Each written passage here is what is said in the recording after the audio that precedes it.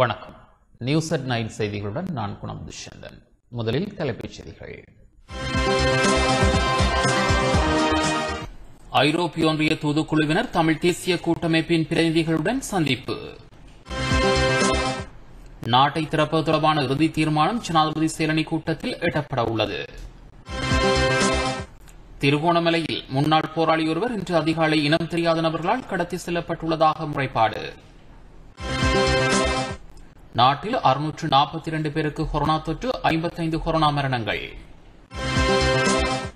கரவலப்பட்டிய மின்னிலே ஒப்பந்தம் போன்று உலகில் எதுவும் இல்லை என நாடாளுமன்ற உறுப்பினர் ஆயுத சினாரட்ன தெரிவிப்பு.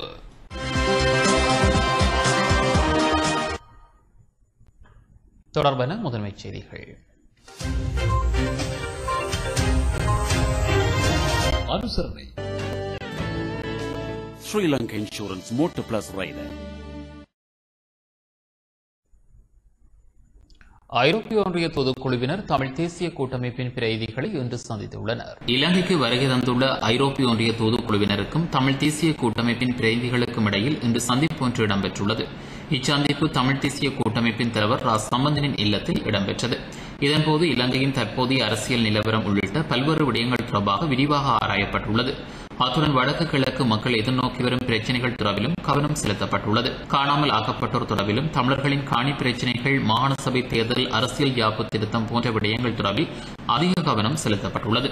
ஐரோப்பிய ஒன்றியத்தினுடைய தூதுக்குழுவினர் தமிழ் தேசிய கூட்டமைப்பினரோடு ஒரு சந்திப்பை மேற்கொண்டார்கள்.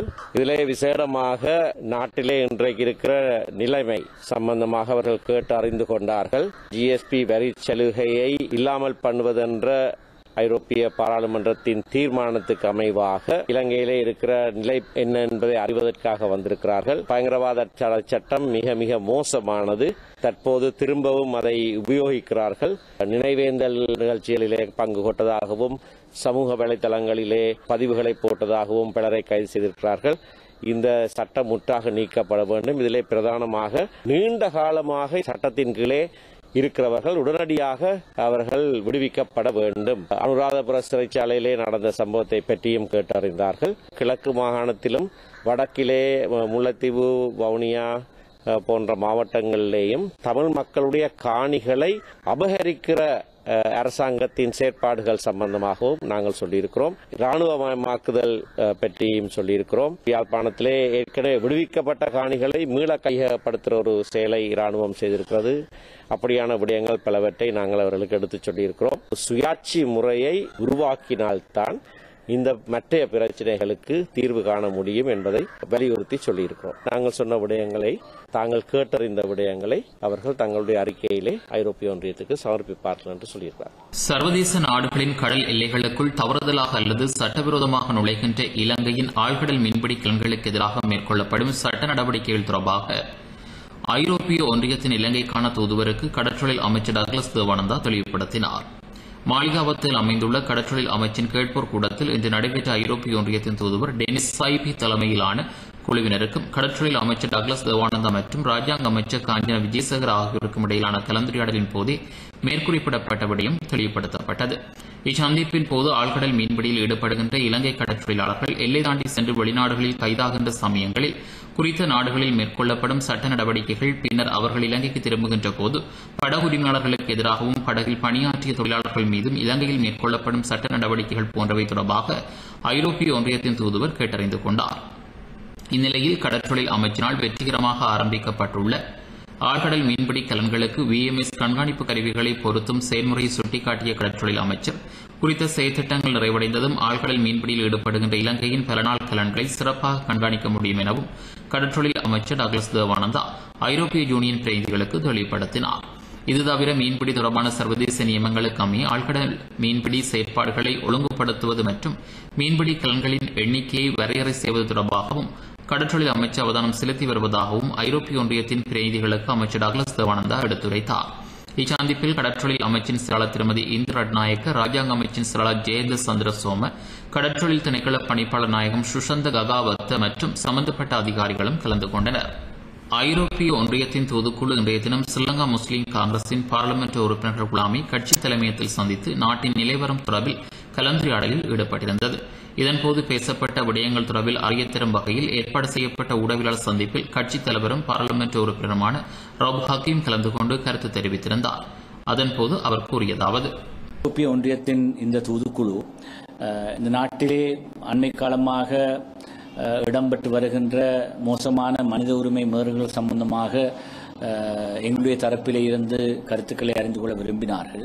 எங்களை பொறுத்தமட்டில் பயங்கரவாத தடுப்பு ச- க- சட்டத்தை பாவிப்பதன் மூலம் அரசியல் ரீதியாக பலரை பழிவாங்குவதற்கான முயற்சி மிக வெளிப்படையாக நடைபெறுகிறது என்ற விவரம் சம்பந்தமாக பல விஷயங்கள் நாங்கள் கதைத்திருக்கிறோம்.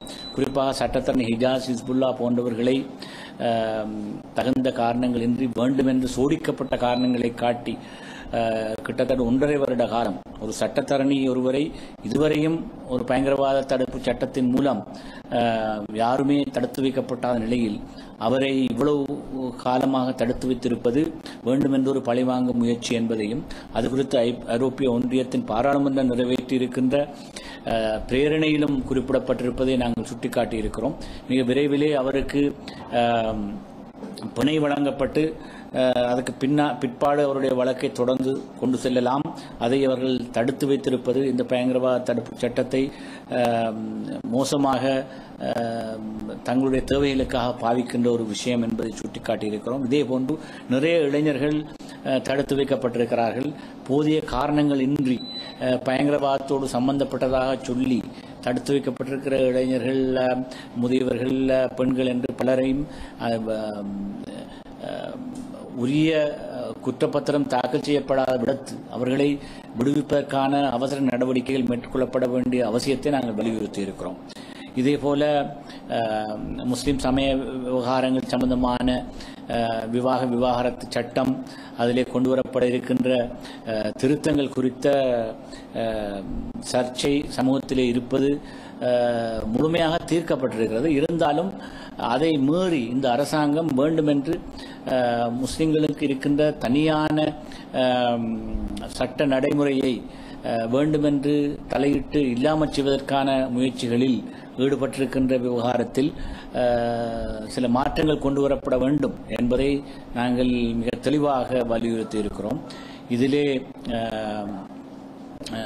நீதி அமைச்சரோடு இதில் இருக்கின்ற கரிசனையை நாங்கள் பகிர்ந்து கொள்ள வேண்டும். அதே நேரம் ஐரோப்பிய ஒன்றியம் தேவையற்ற முறையில் இது சம்பந்தமாக அரசாங்கம் வேண்டும் என்று சிறுபான்மையினரின் உரிமைகளை பறிக்கின்ற விவகாரமாக இது மாறிவிடுவதற்கு இடமளிக்க கூடாது என்ற விஷயத்தையும் மிக தெளிவாக நாங்கள் முன்வைத்திருக்கிறோம். அதே நேரம் பெண்கள் சம்பந்தமான உரிமையை அஹ், முழுமையாக அஹ், நாங்கள் அஹ், வழங்குவதற்கான அனைத்து ஏற்பாடுகளிலும் உடன்பாடுகளை பெரவலப்பட்டிய மின் உற்பத்தி நிலைய பங்குகளை அமெரிக்காவிற்கு வழங்குவதன் ஊடாக மன்னாரில் உள்ள இயற்கை படிமங்களையும் அமெரிக்காவிற்கே வழங்க வேண்டிய நிலை ஏற்படும் என ஐக்கிய மக்கள் சக்தியின் பாராளுமன்ற உறுப்பினர் ஹர்ஷன ராஜகருணா தெரிவித்துள்ளார்.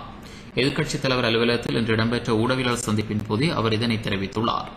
ஒரே நாடு ஒரே சட்டம் என கூறிக்கொண்டே இந்த அரசாங்கம் ஆட்சிக்கு வந்தது. ஆனால் ஒவ்வொருவருக்கும் ஏற்ற வகையிலான ஆட்சி தற்போது இடம்பெற்று வருகின்றது. ஆகவே நாட்டை அபகீர்த்திக்குள்ளாக்க வேண்டாம் என கேட்டுக்கொள்கின்றோம். தற்போது ஐரோப்பிய ஒன்றியத்தின் பிரதிநிதிகள் உத்தியோகபூர்வ விஜயம் ஒன்றை மேற்கொண்டு இலங்கைக்கு வந்துள்ளனர். இரண்டாயிரத்து பத்தொன்பதில் மிகவும் சிரமங்களுக்கு மத்தியில் பெற்றுக்கொண்ட ஜிஎஸ்பி பிளஸ் சலுகையை இல்லாமலாக்கவே இந்த அரசாங்கம் தொடர்ச்சியாக செயல்படுகிறது அரசாங்கம் அனைத்து சந்தர்ப்பங்களிலும் தமது நட்பு வட்டாரத்திற்காகவும் வியாபார நண்பர்களுக்காகவுமே தீர்மானங்களை மேற்கொள்கின்றது. இதன் காரணமாக நாட்டின் சொத்துக்களை விற்க வேண்டிய நிலை ஏற்பட்டுள்ளது. கொழும்பில் புராதன பதினைந்து இடங்களை இவ்வாறு விற்பதற்கான பத்திரிகை விளம்பரங்கள் பிரசுரிக்கப்பட்டுள்ளன. அந்த வகையில் தற்போதைய அரசாங்கம் ஏலம் போடும் நிறுவனமாகவே செயற்பட்டுக் கொண்டிருக்கின்றது. அவசரகால சட்டம் மக்களுக்கு சார்பானது என்ற போர்வையில் கொண்டுவரப்பட்டாலும் அரசாங்கத்துக்கு எதிராக கருத்துக்களை முன்வைக்கும் எதிர்த்தரப்பை அடக்குமுறைக்குட்படுத்தும் செயற்பாட்டிற்காகவே இது கொண்டுவரப்பட்டுள்ளதை சர்வதேச பிரதிநிதிகள் புரிந்து வைத்துள்ளனர். யுதனவி மின் உற்பத்தி நிலையத்தின் நாற்பது வீத பங்குகளை அமெரிக்க நிறுவனத்துக்கு வழங்குவதற்கான ஒப்பந்தம் நாட்டுக்கு பாரிய ஆபத்துக்களை விளைவிக்கும் எல்என்ஜி உற்பத்தி மற்றும் விநியோகத்தில் குறித்த நிறுவனம் ஏகபோக உரிமையை பெறுவது ஆபத்தான நிபந்தனையாகும். இவ்வாறான நிபந்தனைகள் பிறப்பிக்கப்படும் இடத்தில் மன்னாரில் உள்ள இயற்கை படிமங்களையும் அமெரிக்காவிற்கு வழங்க வேண்டிய நிலை ஏற்படும். நாட்டை திறப்பது தொடர்பான இறுதி தீர்மானம் ஜனாதிபதி சேரணி கூட்டத்தில் எட்டப்பட உள்ளது நாட்டை திறப்பது குறித்த தீர்மானம் எதிர்வரும் வெள்ளிக்கிழமை இடம்பெறவுள்ள ஜனாதிபதி செயலணி கூட்டத்தின் போது எடுக்கப்படும் என அமைச்சரவை இணை பேச்சாளர் ரமேஷ் பத்ரன தெரிவித்துள்ளார். அமைச்சரவை முடிவுகளை அறிவிக்கும் வாராந்த ஊடகவியலாளர் சந்திப்பு இன்று இணைய வழியில் இடம்பெற்றது. இதன்போது ஊடகங்களுக்கு கருத்து தெரிவிக்கையிலேயே அவர் இதனை தெரிவித்துள்ளார். අනිත බියක් ලංකාවේ ජනතාව ඇති කරගත යුතු නැහැ. நாட்டில் எரிபொருளுக்கு தட்டுப்பாடில்லை மேலதிகமாகவே எரிபொருட்கள் காணப்படுகின்றன ஆகவே நாட்டில் எரிபொருளுக்கு தட்டுப்பாடு நிலவுவதான கருத்துக்கள் உண்மைக்கு புறம்பானவையாகும் நாட்டு மக்கள் இது தொடர்பில் அச்சமடைய வேண்டிய அவசியமில்லை நாட்டில் டாலர் தட்டுப்பாடு நிலவுவது உண்மையான விடயமாகும் அதனை மூடி மறைக்க முடியாது ஏனெனில் சுற்றுலாத்துறை வீழ்ச்சியின் காரணமாக நாட்டிற்கு கிடைக்க வேண்டிய ஏழு மில்லியன் அமெரிக்க டாலர் இழப்பு ஏற்பட்டுள்ளது அதனை நிவர்த்தி செய்வதற்கான நடவடிக்கைகளை முன்னெடுத்து வருகின்றோம். அதற்காக எதிர்காலத்தில் சுற்றுலாத்துறையை மேம்படுத்துவதனூடாக டொலர் தட்டுப்பாட்டை நிவர்த்தி செய்யக்கூடியதாக இருக்கும் என நம்புகின்றோம். அதேபோல் இந்த மாத இறுதியில் நாட்டை திறக்கக்கூடியதாக இருக்கும். விசேட வைத்தியர்களின் ஆலோசனைக்கமையவே நாடு திறக்கப்படும். அதுவும் இது குறித்த தீர்மானம் எதிர்வரும் வெள்ளிக்கிழமை இடம்பெறவுள்ள ஜனாதிபதி செயலணி கூட்டத்தின் போது எடுக்கப்படும். மேலும் தற்போதைய நிலைவரத்தின் அடிப்படையில் நாட்டினுள் கொரோனா தொற்றாளர்களின் எண்ணிக்கையில் சற்று வீழ்ச்சி ஏற்பட்டுள்ளது. அதேபோல் மரணம் அடைவோரின் எண்ணிக்கையிலும் குறைவு ஏற்பட்டுள்ளது ஆகவே அக்டோபர் மாதத்தின் பின்னர் புதிய யுகத்தை நோக்கிய பயணத்தை ஆரம்பிக்கக்கூடியதாக இருக்கும் என நம்புகின்றோம் மேலும் நாடு திறக்கப்படும் போது அரசு மற்றும் தனியார் ஊழியர்களை தொழிலுக்கு அழைப்பதா இல்லையா என்பது தொடர்பில் எந்த முடிவுகளும் எடுக்கப்படவில்லை கலந்துரையாடப்பட்டதன் பின்னரே குறித்த விடயம் தொடர்பான தீர்மானம் எடுக்கப்படும் ඉතින් එහෙම තීන්දුවක් අ, තාම අරගෙන නැහැ. ඒ සම්බන්ධ ඉදිරියේදී සාකච්ඡා කළා තමයි රටේ තත්ත්වය අනුව තීන්දුව කරන්නේ. கொரோனா தொற்று நீங்கிய பின்னர் அரசாங்கத்துக்கு எதிரான போராட்டம் முன்னெடுக்கப்படும் என முருந்தெட்டுவே ஆனந்த தேரர் அறிவித்துள்ளார். கோவிட் தொற்று நீங்கி நாடு திறந்த பின்னர் அரசாங்கத்துக்கு எதிராக வீதியில் இறங்கி போராட போவதாக கோட்டா மஹிந்த தலைமையிலான அரசாங்கத்தை ஆட்சி பீடம் ஏற்றுவதற்கு முன்னணி வகித்த கொழும்பு அபயாராமய விகாராதிபதி முருத்தெட்டுவே ஆனந்த தேரர் அறிவித்துள்ளார். அரசாங்கம் செல்கின்ற பயணத்தில் குடிப்பதற்கு தண்ணீர் கூட நாட்டில் மிஞ்சாது என்று அவர் இன்று கொழும்பு அபயராம விகாரையில் நடைபெற்ற ஊடகவியலாளர் சந்திப்பின் போது தெரிவித்தார். ජාතික සම්පත් සුරකීම අපේ එකම පරමාර්ථය. අපේ දේපොළ ආරක්ෂාගෙන අපේ පරමාර්ථය. මේ එක එක රටවල தேசிய சொத்துக்களை பாதுகாப்பதே எமது நோக்கம். ஒவ்வொரு நாடுகளுக்கு அவசியமான வகையில் பிரித்து வழங்குவதை நாம் அனுமதிக்க மாட்டோம். அதனால் பொருளாதாரமும் பலப்படாது. கோட்டாபய ராஜபக்சவை ஆட்சிக்கு கொண்டு வந்த போது தனியாருக்கும் வெளிநாடுகளுக்கும் வழங்கப்பட்ட சொத்துக்களை மீளப் பெறுவதாகவே உறுதியளிக்கப்பட்டது. இன்று அந்த அரசாங்கம் பழைய பாதையில் பயணித்தால் வீதிகளுக்கு இறங்கி போராட வேண்டி ஏற்படும். ஆனால் தற்போதைய கோவிட் நிலைமைக்கு மத்தியில் அதனை செய்ய மாட்டோம். நாட்டை தனித்தனியே பிரித்து வெளிநாடுகளின் முதலீடுகளுக்காக வழங்கும் நாம் அனுமதிக்க மாட்டோம் அரசாங்கத்தின் இந்த செயற்பாட்டினை எதிர்த்து எதிர்காலத்தில் மிகப்பெரிய போராட்டங்களை நடத்துவோம் நாட்டை பாதுகாப்பதற்கு கொண்டு வந்த அரசாங்கம் உரியவாறு பாதுகாப்பை அளிக்காவிட்டால் மக்களிடம் உள்ள நம்பிக்கையும் மறைந்து போகும் சௌபாக்கிய திட்டம் என்று சொன்னார்கள் ஆனால் போகிற போக்கில் அருந்துவதற்கு தண்ணீர் கூட மக்களுக்கு கிடைக்காத நிலைமையே ஏற்படும் පිළිබඳව අපි කවදක්වත් පින්ගත්තයක් පළ කරන්නේ ඉදිරියේදී අපේ විරෝධය මහා පරිමාණයෙන් එල්ල වෙන දින ඈතට මේ කියන එක මතක් කරනවා. திருகோணமலையில் முன்னாள் போராளி ஒருவர் இன்று அதிகாலை இனம் தெரியாத நபர்களால் கடத்தி செல்லப்பட்டுள்ளதாக முறைப்பாடு செய்யப்பட்டுள்ளது. திருகோணமலை வரோதியா நகரில் முப்பத்தி ஒன்பது வயதுடைய மனோகரதாஸ் சுபாஷ் என்னும் முன்னாள் போராளியொருவர் அவரது இல்லத்தில் வைத்து இனம் தெரியாத நபர்களால் இன்று அதிகாலை கைது செய்யப்பட்டுள்ளதாக மனித உரிமை ஆணைக்குழுவில் முறைப்பாடு செய்யப்பட்டுள்ளது. ஆயுதங்களுடன் வாகனத்தில் வந்த சிலர் தாம் உப்புவழி போலீஸ் நிலையத்திற்கு அவரை அழைத்துச் செல்வதாக வீட்டாரிடம் தெரிவித்துவிட்டு குறித்த நபரை அழைத்துச் சென்றதாக உறவினர்கள் தெரிவித்துள்ளனர்.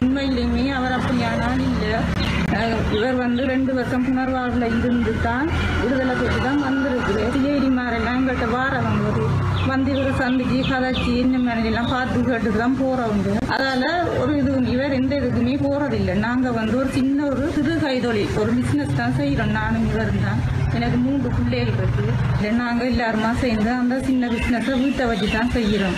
அவர் எங்கேயுமே போகிறோம் அந்த வியாபாரத்தில் வர காசு தான் நான் எங்களோட உழைப்பு சாப்பாடு பிள்ளைகள படிப்பு எல்லாமே அதில் தான் போகுது. பிள்ளைக்கு இப்படி வந்து ஆறு மணிக்கு வந்து இவரை க- கூட்டிக் கொண்டு போவேன் நாங்கள் விட இல்லை விட அப்போ எங்களை எல்லாம் பேசி எல்லாம் திறகு தாண்டி டிரைவில் எல்லாம் கொண்டு வந்து எங்களை சுடுறதுக்கு எல்லாம் தாண்டி தான் முரட்டி தான் அவரை கொண்டு போகிறாங்க கொண்டு போய் நாங்கள் அப்படி எங்கே கொண்டு போகிறீங்க நீங்கள் இதால் வந்து நீங்கள் எல்லாம் கேட்கணும் சொல்ல இல்லை. பிறகு தான் ஒரு ஒரே ஒரு ஆள் தான் அவர் கொஞ்சம் வயசானவர். அவர் தான் சொன்னவர் இப்படி உப்பு வழி பொழிச்சிலிருந்து தான் நாங்கள் வாரோம். அங்கே தான் கொண்டு போகிறோம்னு சொல்லி சொன்னார்.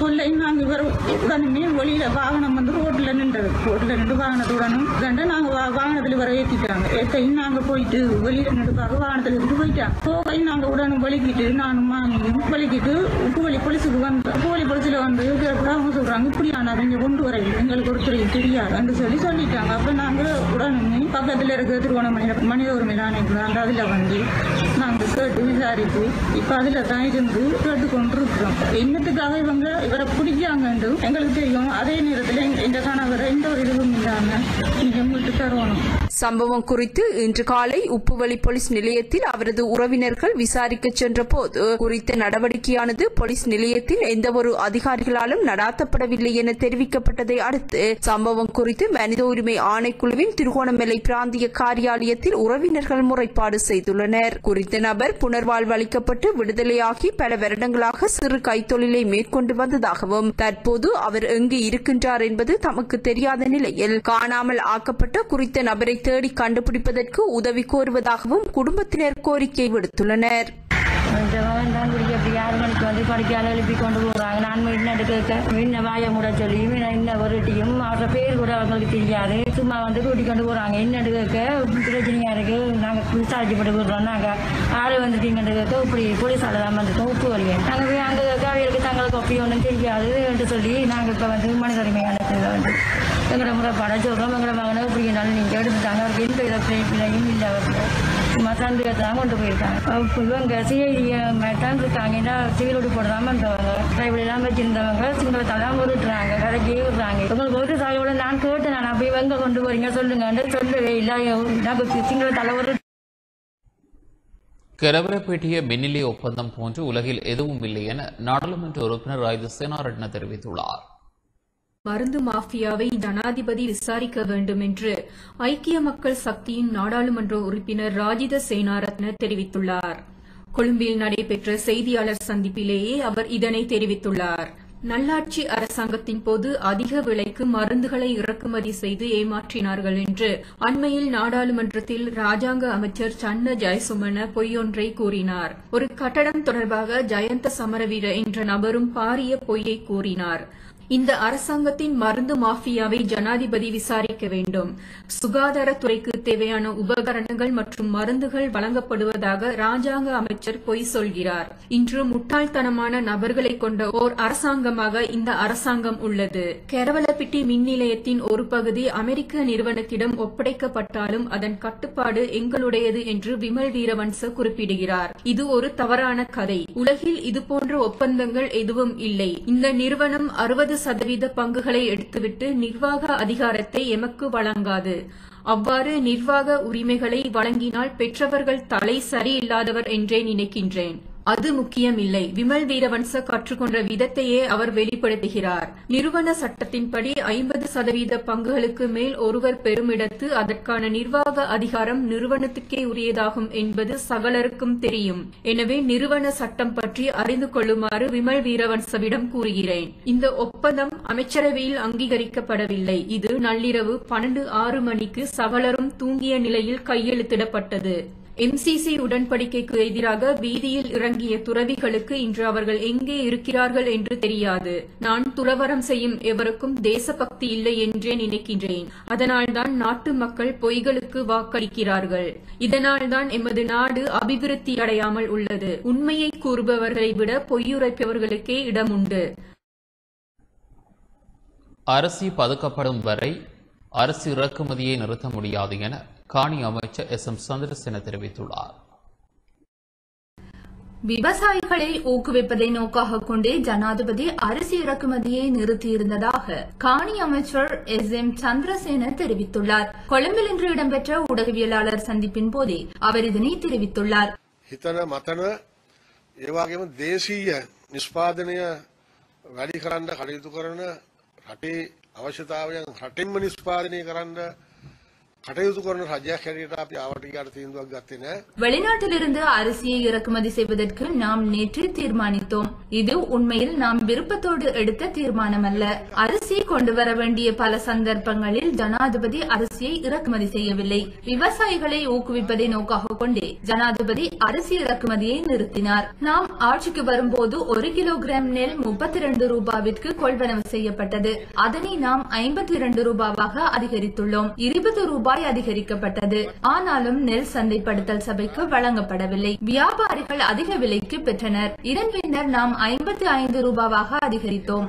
விவசாயிகளையும் வியாபாரிகளையும் நுகர்வோரையும் பாதுகாப்பதற்காக நாம் இணைந்துள்ளோம். விவசாயிகளுக்கும் அரிசி ஆலை உரிமையாளர்களுக்கும் இடையில் ஒருமைப்பாட்டை உருவாக்க முடியவில்லை. அதனால் இப்பொழுது வரிசை காணப்படுகின்றது. அரிசிக்கு வரிசையில் காத்திருக்க வேண்டியதில்லை. அவர்களுக்கு காலம் வழங்கினோம். முடியாத நிலையிலேயே இந்த தீர்மானத்தை எடுத்துள்ளோம். ஏதாவதொரு ரீதியில் நெல் அரிசியை வெளியே கொண்டு வர முடியுமானால் அரிசி இறக்குமதியை நிறுத்த முடியும். මෙහි තියෙන මිලට වැඩිය අඩුවෙන් ලබා දෙන්න තමයි අඩු මිලකට දෙන්න තමයි අපි විදේශ වලින් බලලා අඩුම තනින් හාල් ගේන්න කියලා කැබිනට් තීන්දුව අපි அரிசி ஆலைகளின் உரிமையாளர்கள் அரிசி வகைகளுக்கான விலையை அறிவித்துள்ளனர் பாரிய அரிசி ஆலைகளின் உரிமையாளர்கள் அரிசி வகைகளுக்கான சில்லறை விலையை அறிவித்துள்ளனர் அதற்கமே ஒரு கிலோ நாட்டரிசி நூற்று பதினைந்து ரூபாவுக்கும் ஒரு கிலோ சம்பா அரிசி நூற்று நாற்பது ரூபாவுக்கும் ஒரு கிலோ கீரி சம்பா நூற்று அறுபத்தைந்து ரூபாவுக்கும் விற்பனை செய்யப்பட உள்ளது. அத்துடன் விவசாயிகளிடமிருந்து ஒரு கிலோகிராம் நாட்டு நெல்லை அறுபத்தி இரண்டு ரூபாய் ஐம்பது சதத்துக்கு கொள்வனவு செய்ய உள்ளதாக அரிசி ஆலை உரிமையாளர்கள் குறிப்பிட்டுள்ளனர். ஒரு கிலோகிராம் சம்பா நெல்லை எழுபது ரூபாவுக்கும் ஒரு கிலோகிராம் கீரி சம்பா நெல்லை எண்பது ரூபாவுக்கும் கொள்வனவு செய்ய உள்ளனர். இதேவேளை அரிசிக்கான கட்டுப்பாட்டு விலைகளை நிர்ணயித்து கடந்த இரண்டாம் தேதி வெளியிடப்பட்ட அதிவிசேட வர்த்தமானி அறிவித்தலை ரத்து செய்ய அமைச்சரவை நேற்று தீர்மானித்திருந்தது. அப்பொழுது ஒரு கிலோ நாட்டரிசி விலையை தொன்னூற்றி எட்டு ரூபாவாகவும் சம்பா அரிசியின் விலையை நூற்று மூன்று ரூபாவாகவும் கீரி சம்பா விலையை நூற்றி இருபத்தைந்து ரூபாவாகவும் கட்டுப்பாட்டு விலைகளாக நிர்ணயித்து அரசாங்கம் வர்த்தமானி வெளியிட்டமை குறிப்பிடத்தக்கது. அரசியின் விலையை அதிகரிக்கும் நடவடிக்கையை ஏற்றுக்கொள்ள முடியாது என ராஜாங்க அமைச்சர் லசந்த அழகியவண்ண தெரிவித்துள்ளார். வழங்கப்பட்டுள்ள சுதந்திரத்தை பயன்படுத்தி சில தரப்பினர் அரிசியின் விலையை அதிகரிக்கும் நடவடிக்கையை முன்னெடுத்துள்ளதாக ராஜாங்க அமைச்சர் லசந்த அழகிவண்ண குற்றம் சாட்டியுள்ளார். சில தரப்பினர் அரிசியின் விலையை அதிகரிக்கும் நடவடிக்கையை முன்னெடுத்துள்ளனர். ஆகவே அவர்களிடமிருந்து நுகர்வோரை பாதுகாப்பதை நோக்காக கொண்டு நுகர்வோர் அதிகார சபையின் தலையீட்டுடன் நுகர்வோரை பாதுகாக்க நடவடிக்கை எடுக்கப்படும். இந்நிலையில் ஆலை உரிமையாளர் சங்கத்தினர் அறிவித்துள்ள அரிசிக்கான சில்லறை விலை ஏற்றுக்கொள்ள முடியாததாகும். வர்த்தக அமைச்சின் தலைமையில் ஒரு லட்சம் மெட்ரிக் டன் அரிசியினை இறக்குமதி செய்ய தீர்மானிக்கப்பட்டுள்ளது. ஆகவே இன்றைய தினத்திலிருந்து அதற்கான நடவடிக்கைகள் முன்னெடுக்கப்பட்டுள்ளன.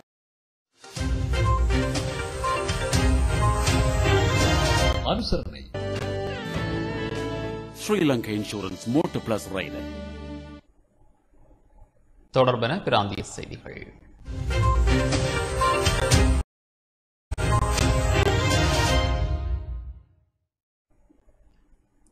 நாட்டில் அறுநூற்று நாற்பத்தி ரெண்டு பேருக்கு கொரோனா தொற்று உறுதிப்படுத்தப்பட்டுள்ளதுடன் ஐம்பத்தைந்து கொரோனா மரணங்கள் பதிவாகியுள்ளன.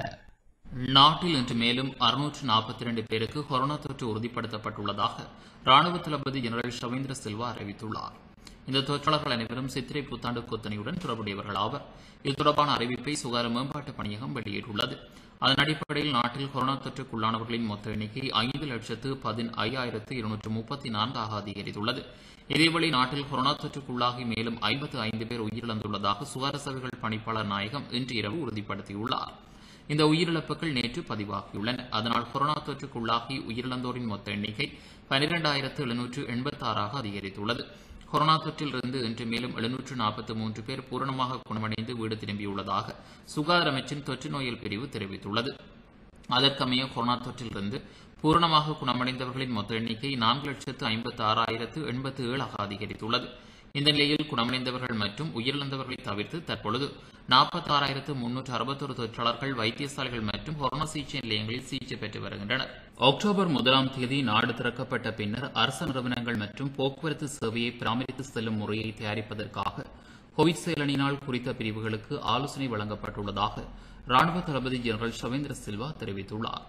நாட்டை திறப்பது தொடர்பில் இதுவரை இறுதி தீர்மானத்துக்கு வரவில்லை எனவும் எனினும் எதிர்வரும் இரண்டு மூன்று நாட்களில் இறுதி தீர்மானம் அறிவிக்கப்படும் எனவும் ராணுவ தளபதி குறிப்பிட்டுள்ளார். கண்டிஸ்ரீ தலதா மாளிகையில் இடம்பெற்ற நிகழ்வு ஒன்றில் கலந்து கொண்டு கருத்து தெரிவித்த போது ராணுவ தளபதி ஜெனரல் சவேந்திர சில்வா இதனை தெரிவித்தார். அத்தோடு நாட்டு மக்கள் தொகையில் ஐம்பத்தி இரண்டு தசம் மூன்று சதவீதமானோருக்கு தடுப்பூசி வேலை திட்டத்தின் கீழ் இரண்டு டோஸ்களும் ஏற்றப்பட்டுள்ளதாகவும் ராணுவ தளபதி குறிப்பிட்டுள்ளார். கல்முனை ஆர்கேஎம் வீதியில் ஐம்பது பேருக்கு மேற்கொள்ளப்பட்ட ஆன்டிஜென் பரிசோதனைகளில் ஒருவருக்கு கொரோனா தொற்று இருப்பது உறுதி செய்யப்பட்டுள்ளதாக கல்முனை வடக்கு பிராந்திய சுகாதார பணிமனை தெரிவித்துள்ளது.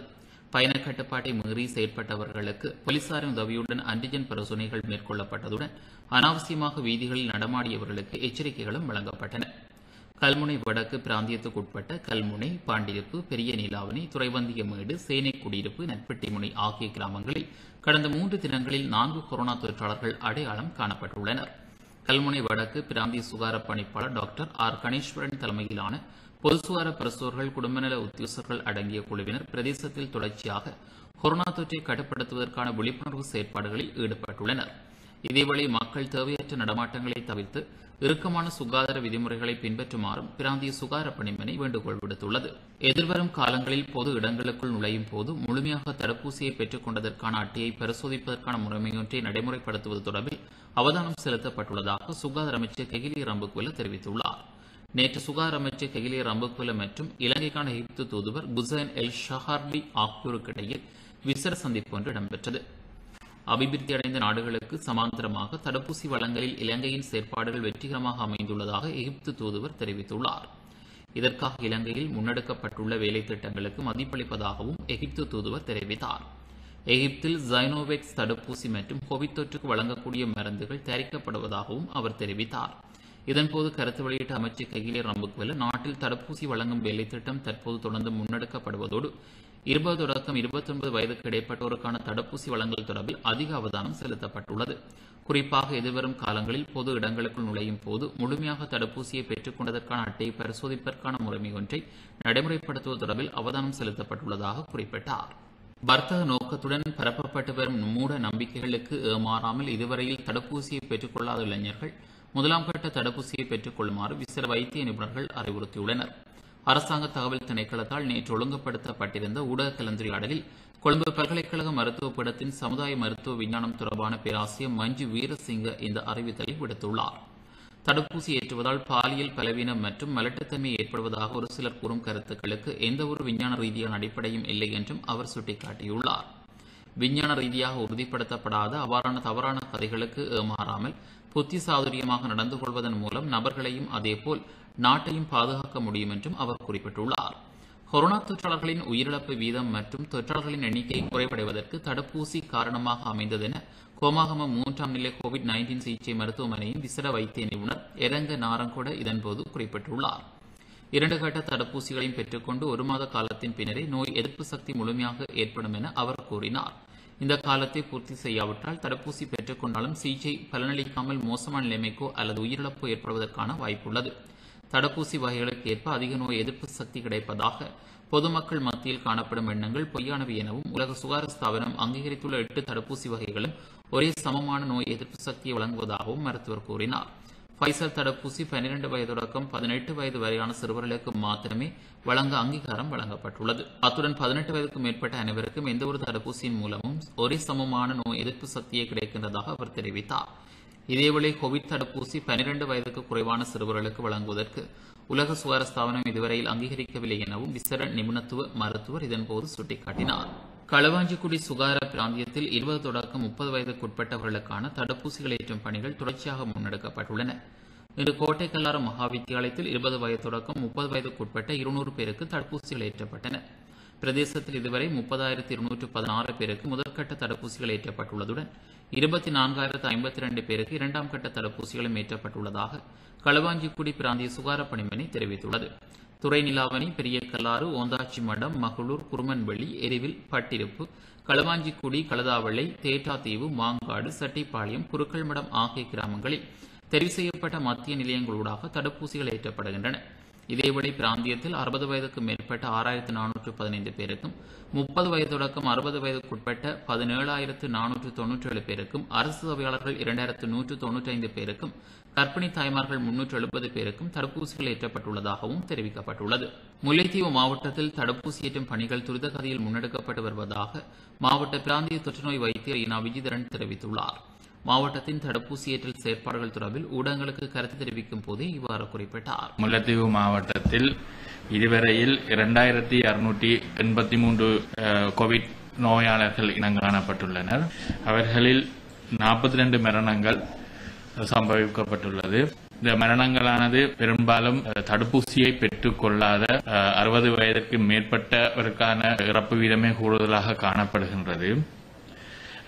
தற்பொழுது இந்த தடுப்பூசி ஏற்றலானது முல்லைத்தீவு மாவட்டத்தை பொறுத்தவரையில் ஐந்து எம்ஓ பிரிவுகளிலும் மிக சிறப்பாக நடைபெற்றுக் கொண்டிருக்கின்றது. அந்த வகையில் மொத்தமாக முதலாவது தடுப்பூசியானது ஐம்பத்தி எட்டாயிரத்தி அஞ்சூற்றி பன்னிரண்டு பேருக்கும் இரண்டாவது தடுப்பூசியானது நாற்பத்தி ரெண்டாயிரத்தி எண்ணூற்றி பதினைஞ்சு பேருக்கும் செலுத்தப்பட்டுள்ளது. அறுபது பேருக்கு மேற்பட்டவர்களை பொறுத்தவரையிலே பதிமூவாயிரம் ஏறத்தாழ பதிமூவாயிரம் பேர் முதலாவது தடுப்பூசியையும் பத்தாயிரத்தி முன்னூற்றி முப்பது பேர் இரண்டாவது தடுப்பூசியையும் பெற்றுக் கொண்டுள்ளனர். முப்பது ரக்கம் அறுபது வயதுக்கு இடைப்பட்ட இடைப்பட்டவர்கள் முப்பத்தி ஒன்பதாயிரத்தி நானூற்றி ஐம்பத்தி ஆறு ஃபர்ஸ்ட் டோஸும் இருபத்தெட்டாயிரத்தி எழுநூற்றி பதினேழு செகண்ட் டோஸும் இதுவரையில் செலுத்தப்பட்டுள்ளது. பத்தொன்பது வயது தொடக்கம். இருபத்தி ஒன்பது முப்பது வயதுக்கு இடைப்பட்டவர்களுக்கான தடுப்பூசியானது தற்பொழுது கடந்த கிழமையிலிருந்து ஆரம்பிக்கப்பட்டு நடைபெற்றுக் கொண்டிருக்கின்றது. அந்த வகையில் ஆறாயிரத்தி ஐம்பத்தைந்து பேர் முதலாவது தடுப்பூசியையும் மூவாயிரத்தி எழுநூற்றி அறுபத்தெட்டு பேர் இரண்டாவது தடுப்பூசியையும் பெற்றுக்கொண்டுள்ளனர் கிட்டத்தட்ட இந்த எண்ணிக்கையானது ஐம்பது சதவீதமான இந்த பத்தொன்பது வயதுக்கு மேற்பட்டவர்கள் பெற்றுக்கொண்டிருக்கின்றார்கள் உண்மையிலே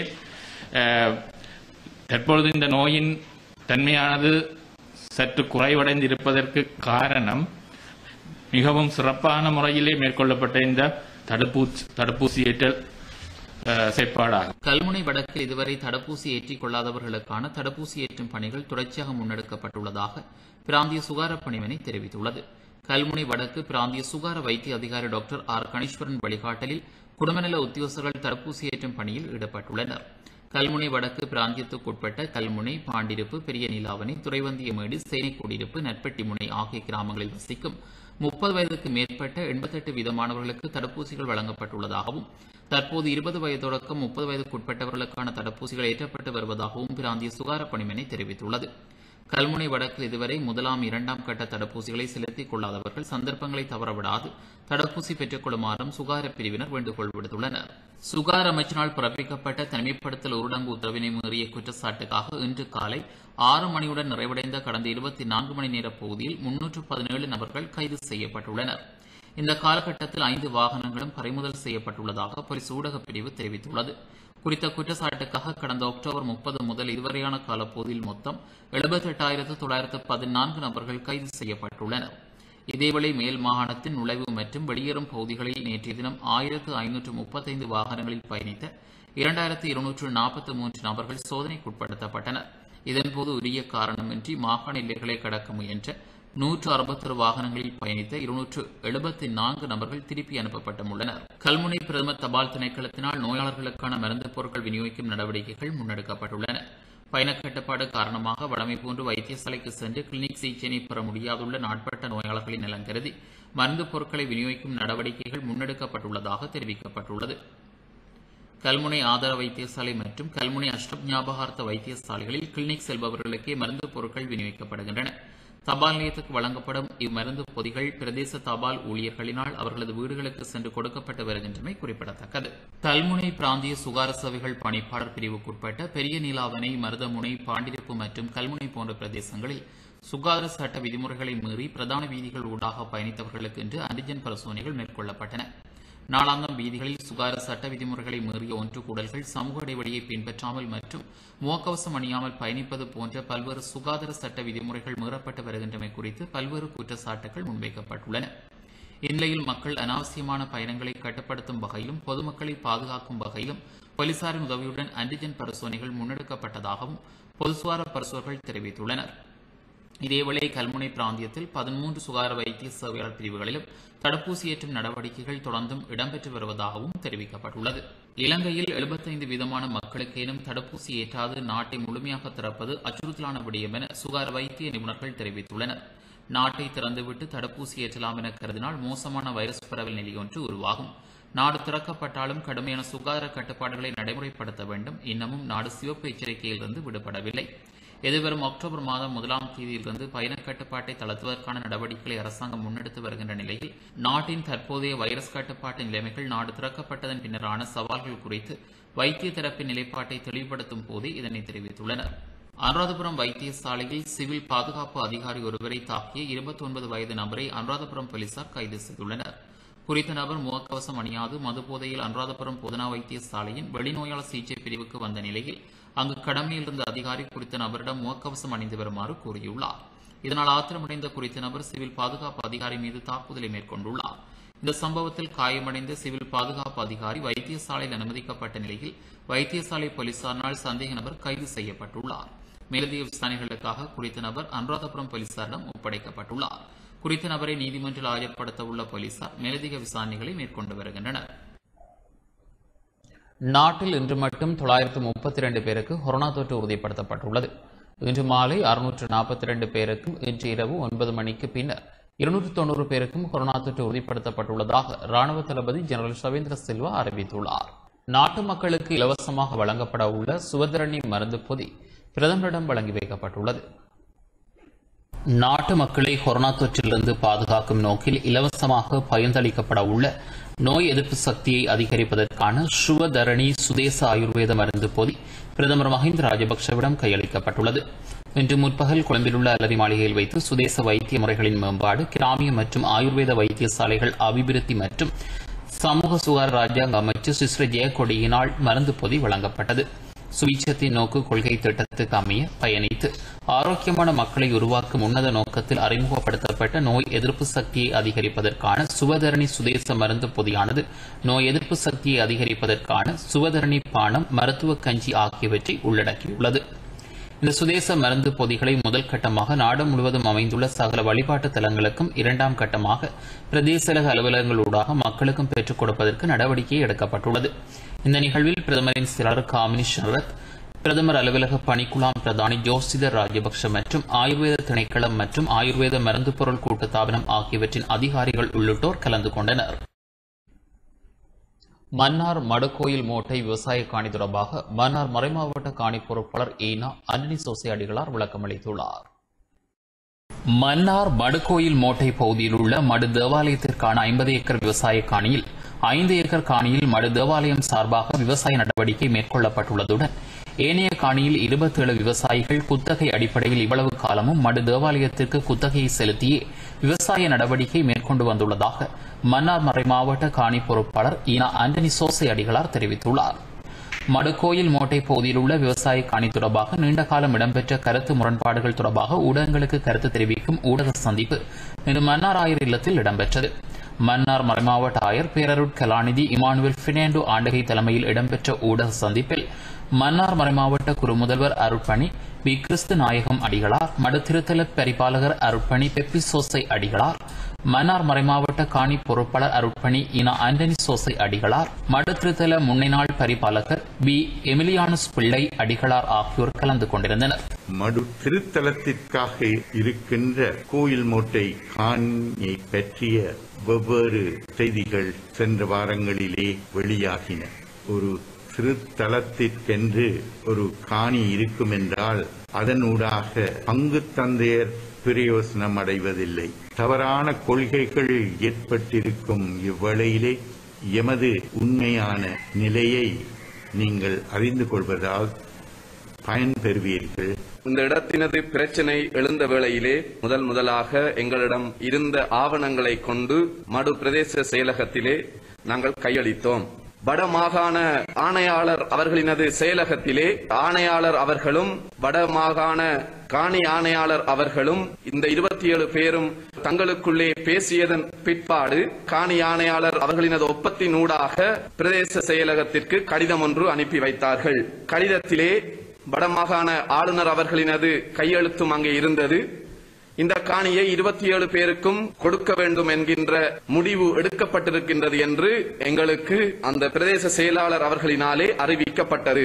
வடமாகாண காணியானையாளர் மடு பிரதேச செயலாளர் இவர்களோடு இணைந்து எடுக்கப்பட்ட தீர்மானத்திற்கு எதிர்மாறாக வடமாகாண காணி ஆணையாளர் வடமாகாணத்தினுடைய ஆணையாளர் இவர்கள் எல்லோரும் இணைந்து இந்த தீர்மானத்தை மாற்றி அமைத்தது எங்களுக்கு அதிருப்தி அளிப்பதாகவும் அத்தோடு இதை நாங்கள் மாற்றி அமைக்க வேண்டும். மூன்று தடவை கடிதங்களை வடமாகாண ஆளுநர் அவர்களிடம் சமர்ப்பித்தோம்.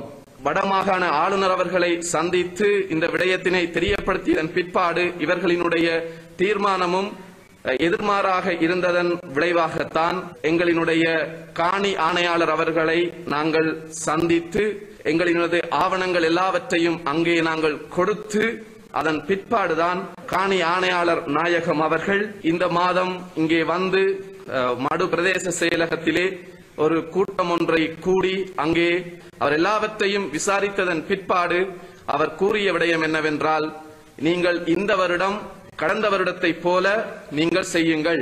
அடுத்த போகத்திற்கு முன்பாக நான் உங்களுக்கு இந்த காணியினுடைய தீர்மானத்தை அறிவிப்பேன் என்று அவர் எங்களிடம் இந்த விடயத்தினை இந்த தீர்மானத்தினை அவர் எங்களுக்கு கூறி நின்றார் காணி ஆணையாளர் நாயகம் அவர்கள் எல்லோரையும் விசாரித்ததன் பிற்பாடு தீர்மானத்தின்படி மடு பரிபாலகர் அவர்களினாலே அந்த இடத்திலே விவசாயம் செய்யப்படவும் ஏனைய காணியிலே ஐந்து ஏக்கர் ஃபாதர் மடு பரிபாலகர் செய்து கொண்டு ஏனைய காணியினை ஏனைய விவசாயிகளுக்கு அவர்கள் அவர்கள் செய்தது போன்று இரண்டு இரண்டு ஏக்கர்கள் பிரித்து கொடுக்கும்படி அவர் அங்கே கட்டளையை கொடுத்ததன் பிற்பாடு சென்று விட்டார். கடந்த ஒரு இந்த ஒரு கிழமைக்குள்ளே நாங்கள் அங்கே சென்று மீண்டும் அந்த காணியை இடுவதற்கு சென்ற வேளையிலே ஏனைய விவசாயிகள் அந்த இடத்திற்கு நாங்கள் போகக்கூடாது.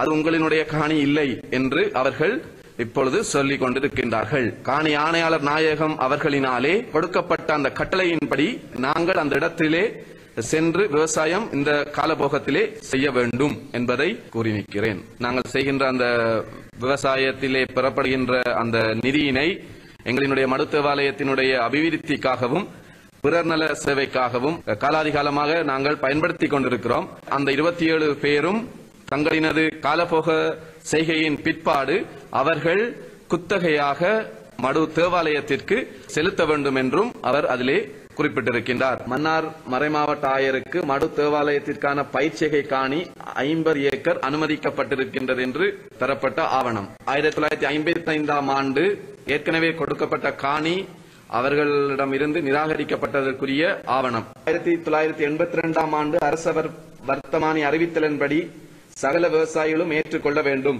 வருடா வருடம் நெற்செய்கையாளர் பயிர் செய்வதற்கு தனித்தனி கடிதம் மூலம் கிராம அலுவலர் விவசாய அமைப்பு ஊடாக விண்ணப்ப படிவம் செலுத்த வேண்டும். வருடா வருடம் குத்தகை மடு பரிபாலகரினால் தீர்மானிக்கப்படும். இருபத்தி ஏழு விவசாயிகளும் கையொப்பமிட்டிருக்கிறார்கள்.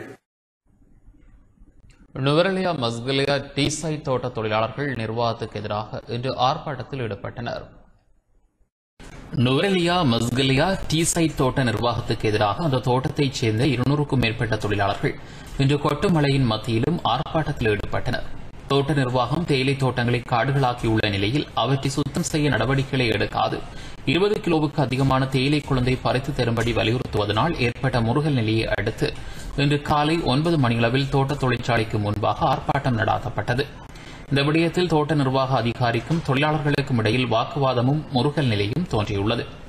தோட்டத்தின் தேயிலை காணிகள் பல நல்ல தேயிலை விளைச்சலை தரக்கூடியது எனவும் ஆனால் தோட்ட நிர்வாகம் தேயிலை நிலங்களை சுத்தம் செய்து கொடுப்பதில் அக்கறை காட்டுவதில்லை எனவும் தொழிலாளர்கள் குற்றம் சுமத்தியுள்ளனர்.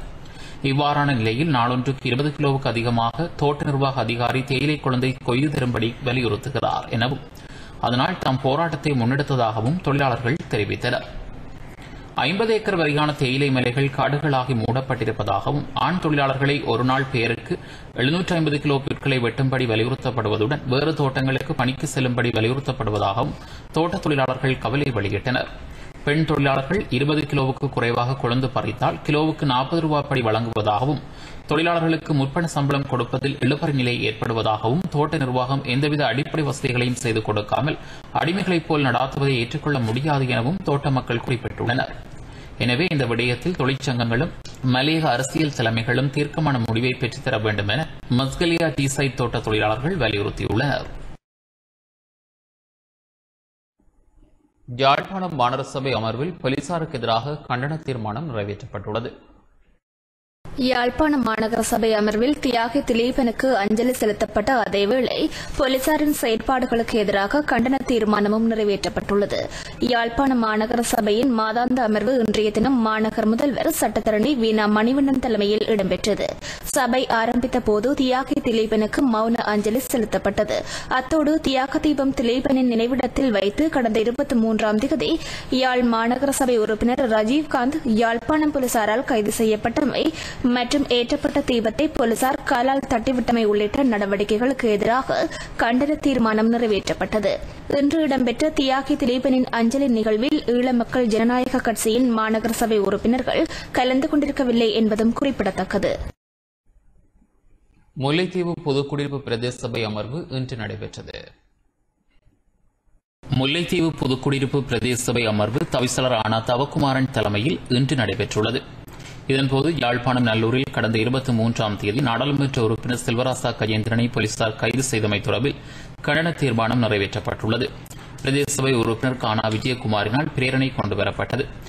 கண்டன உரைகளையும் தீர்மானத்திற்கான ஆதரவையும் பிரதேச சபை உப தவிசாளர் கானா ஜெனமே ஜெயந்த் பிரதேச சபை உறுப்பினர்களான சேனா பிரேமகாந்த் எஸ் குகணேசன் ஆகியோர் வெளியிட்டு தீர்மானத்திற்கு ஆதரவு தெரிவித்தனர். இருபத்தி இரண்டு உறுப்பினர்களை கொண்ட புதுக்குடியிருப்பு பிரதேச சபையில் இருவர் சபையில் இல்லாத நிலையில் ஒருவர் பிரேரணையிலிருந்து விலகிக் கொண்ட நிலையில் பத்தொன்பது பேரின் ஆதரவுடன் கண்டன தீர்மானம் நிறைவேற்றப்பட்டது. கோட்டபாய அவர்கள் ஜனாதிபதியாக தெரிவு செய்யப்பட்டதன் பின்னர் இந்த மக்கள் ஒரு நினைவேந்தல் நிகழ்வுகளை செய்ய முடியாத ஒரு துப்பாக்கிய நிலை ஏற்பட்டிருப்பதை அவதானிக்க முடிகிறது. ஐக்கிய நாடுகள் சபையிலே இந்த நினைவேந்தலுக்குரிய உரிமை அஹ், இருக்கின்றது. இந்த அரசாங்கம் தமிழ் மக்களுடைய மனங்களை எந்த காலத்திலும் வெல்ல முடியாது என்பதை நான் இந்த இடத்துல நான் ஆணித்தனமாக குறிப்பிடுகின்றேன் நாமல் ராயபக்ச அவர்கள் யாழ்ப்பாணம் வந்திருந்தார். அங்கேயும் ஒரு படை அங்கேயும் படை. கரியவங்களாக அங்கே சென்றதை நாங்கள் இந்த பேஸ்புக் கூடாக பார்ப்போம் சிங்கள அரசியல்வாதிகள் அங்கே மக்களை கூட்டலாம். அங்கே கொரோனா வர வர முடியாது. ஆனால் நாங்கள் மூன்று பேர் போய் ஒரு ஒரு நிகழ்வுகளை செய்கின்ற பொழுது கொரோனாவை காரணம் காட்டி எங்களுடைய அந்த உரிமைகளை நசுக்குகின்ற செயற்பாட்டை இந்த இடத்தில் நான் வன்மையாக கண்டித்து ஒரு கண்டன தீர்மானத்துக்கு நாங்கள் ஆதரவை தெரிவித்து விடைபெறுகிறேன். அரசாங்கம் வந்து ஒரு கட்டுப்பாட்டை இல்லாட்டி ஒரு ஒரு அளவு சட்டம் மாதிரி ஒரு இது ஒன்று போட்டிருந்தது. அதை மீறினதாகத்தான் அவர்கள் அந்த நடவடிக்கை மேற்கொண்டிருக்கிறார் அறிவுப்படுத்த சட்டத்தை மீறினர் தான் போட்டிருக்கிறார் அதை வந்து நீதிமன்றம் தான் முடிவெடுக்க போது அதெல்லாம் புலனறிய மட்டக்களப்பில் இருக்கலாம். அங்கே அங்கே அங்கே நான் கூட தெரியல அது கூட கொண்டு தெரியல நாங்கள் தமிழர்களாக இருந்து கொண்டு மாற்று கட்சிகளோடு சேர்ந்து கொண்டு தமிழர்களுடைய மானத்தை விற்கின்ற வகையில் இந்த இடங்களில் கதைப்பது சற்று குறைத்திருக்க குறைக்க வேண்டும். தமிழருக்கு ஒன்று நடக்கின்ற பொழுது அவை அனைத்தையும் நீக்கிவிட்டு தமிழர்கள் முஸ்லிம்கள் ஏதாவது செய்தால் இந்த நாட்டு பிரதிகள் என்று பார்க்காது அடக்கி ஒடுக்குவது அநியாயமான ஒரு விடயம். ஜனநாயக நாடு ஒன்றிலே மக்களுடைய பிரதிநிதிகள் ஜனநாயக முறைப்படி இருக்க வேண்டும். நல்லிணக்கம் என்று நாங்கள் சொல்லிக் கொள்ளுகின்ற இந்த நேரத்திலே நாங்கள் நல்லிணக்கத்தை ஏற்படுத்துகின்றோம் உள்ளூர் பொறிமுறைகளை ஏற்படுத்துகின்றோம் வெளிநாட்டிலே ஜனாதிபதி சொல்லுகின்ற அதே நேரத்திலே இங்கே ஒரு பாராளுமன்ற உறுப்பினர் ஒரு இறந்த ஒருவருக்கு சுடரேற்றுவதற்காக அந்த இடத்திலே சென்றதற்காக கைது செய்யப்பட்டிருக்கிறார் இந்த இடத்திலே நாங்கள் வன்மையாக கண்டிக்கின்றோம். இங்கே இருக்கின்ற இந்த சட்டங்களை பயன்படுத்தி இந்த அரசாங்கம் எங்களை நசுக்குகிறது ஒடுக்குகிறது என்ற இந்த கருத்தை நாங்கள் முன்வைக்கின்றோம். மன்னார் பிரதேச சபையின் புதிய தவிசால தெரிவை இடைநிறுத்த கோரி மேன்முறையீட்டு நீதிமன்றில் மனு தாக்கல் செய்யப்பட்டுள்ளது. வடக்கு மாகாண ஆளுநரால் மன்னார் பிரதேச சபை தவிசாளர் நீக்கப்பட்டமை ஆட்சேபித்து தவிசாளர் எஸ் எச் எம் முஜாஹிரினால் கொழும்பு மேன்முறையீட்டு நீதிமன்றில் இன்று ரெட் மனு தாக்கல் செய்யப்பட்டுள்ளது. மன்னார் பிரதேச சபையின் புதிய தவிசாளர் தெரிவு நாளை இடம்பெறவுள்ள நிலையில் குறித்த ரிட்மனு இன்று தாக்கல் செய்யப்பட்டுள்ளது. நாளை இடம்பெறவுள்ள புதிய தவிசாளருக்கான தெரிவை இடைநிறுத்த கோரியும் தவிசாளர் மற்றும் உறுப்புரிமையிலிருந்து தாம் நீக்கப்பட்டமை சட்டத்துக்கு முரணானது எனவும் அவற்றுக்கு எதிராக தடை உத்தரவு பிறப்பிக்குமாறும் முஜாஹிரினால் ரிட்மனுவில் கோரப்பட்டுள்ளது தவிசாளர் முஜாஹிர் சார்பில் சட்டத்திறனிகளான என் எம் ஷாகித் சந்தீப கமதிகே ஆகியோரால் தாக்கல் செய்யப்பட்ட ரிட்மனு நாளை விசாரணைக்கு எடுத்துக் கொள்ளப்பட உள்ளது. கல்முனை வடக்கு பிரதேச செயலக விடயத்தில் நாடாளுமன்ற உறுப்பினர் ஹரீஷ் குறுக்குத்தனமாக செயற்படுகின்றார் என குற்றச்சாட்டுகள் முன்வைக்கப்பட்டுள்ளன.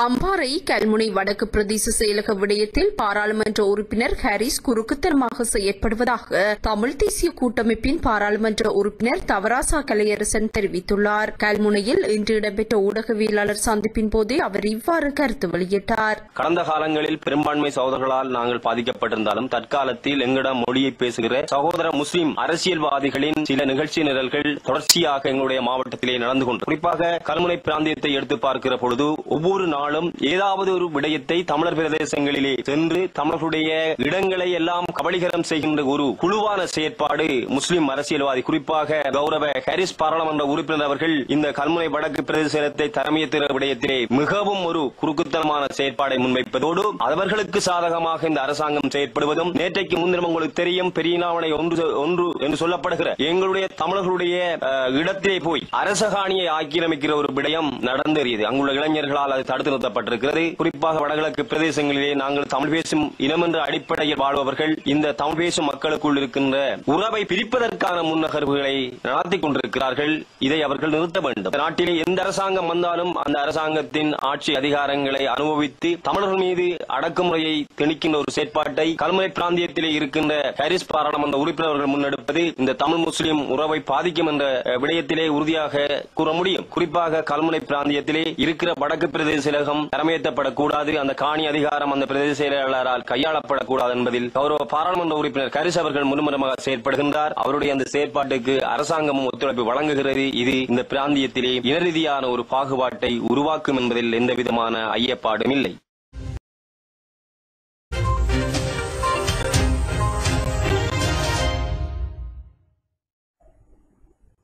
மாணவர்களின் கல்வி நெருக்கடிக்கு அரசாங்கமே காரணம் என இலங்கை ஆசிய சங்க பொதுச் செயலாளர் ஜோசப் ஸ்டாலின் தெரிவித்துள்ளார்.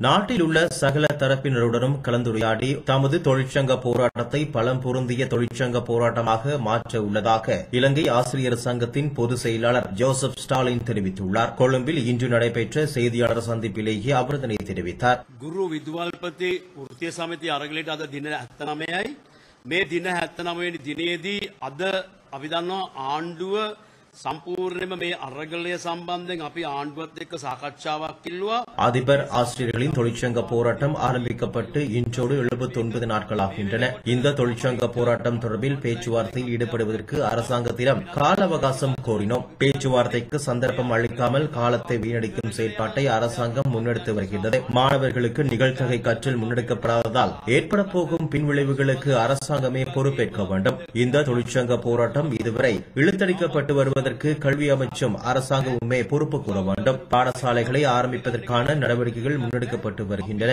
அதற்கான உபாயங்களை அரசாங்கம் முன்னெடுத்து வருகின்றது. ஆனால் இதுவரை அதிபர் ஆசிரியர்களுடன் பேச்சுவார்த்தைக்கு வரவில்லை. குறித்த உபாயங்களுக்குள் அதிபர் ஆசிரியர்களை எவ்வாறு உள்வாங்குவது என்பது குறித்து அரசாங்கத்திடம் திட்டமில்லை. அதிபர் ஆசிரியர்களின் பிரச்சினைகளுக்கு தீர்வை பெறும் விடயத்தில் நாம் தீர்மானமாக உள்ளோம். அதே போன்று இன்றைய தினம் குறிப்பாக எமது போராட்டம் ஆரம்பிக்கப்பட்டு இன்றோடு 79 நாட்கள் ஆகின்ற நிலையில் இந்நாட்டில் தொழிற்பட்டு வரும் தொழிற்சங்கங்களான இலங்கை வங்கி சங்கம் தபால் சேவை சங்கம் அரச முகாமைத்துவ சங்கம் உள்ளிட்ட அனைத்து தொழிற்சங்கங்களும் இன்று பேச்சுவார்த்தைக்கு வந்தன. அவர்கள் எம்மோடு இணைந்து எம்மை தனியே விடாது இந்த போராட்டத்தை முன்கொண்டு செல்வதற்கான வேலை திட்டத்தை முன்மொழிந்துள்ளார்கள். அவர்கள் முன்மொழிந்த வேலை திட்டங்களை நாம் முன்கொண்டு செல்வோம். அதேபோன்று நேற்றைய தினம் பல்கலைக்கழக பேராசிரியர்கள் ஒன்றியத்தோடு பேச்சுவார்த்தையில் ஈடுபட்டோம். அவர்களும் எமது போராட்டத்திற்கு ஒத்துழைப்பு வழங்குவதாக உறுதியளித்துள்ளார்கள். அதேபோன்று நாளை தினம் தொழிற்சங்கங்களின் தேசிய முன்னணியோடு பேச்சுவார்த்தை போராட்டத்தில் ஈடுபடுவதற்கு எதிர்பார்த்துள்ளோம். எனவே சகல தரப்பினருடனும் கலந்துரையாடி எமது தொழிற்சங்க போராட்டத்தை பலமிக்க தொழிற்சங்க போராட்டமாக மாற்ற உள்ளோம்